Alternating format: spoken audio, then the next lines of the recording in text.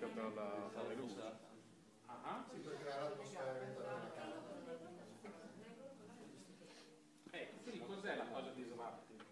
Che un'azienda che si chiama Philips, che produce l'illuminazione, ha inventato una lampadina che si comanda tramite wifi e tramite un iPad. Che voi detto invece chi se ne frega?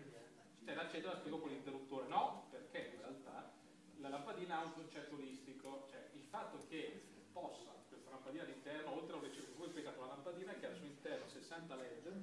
cambiano colore, e quindi generano fino a, mi sembra, 10.000 sfumature di colore diverso. È di grigio.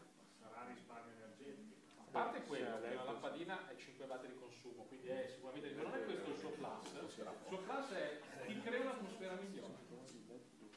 Cioè,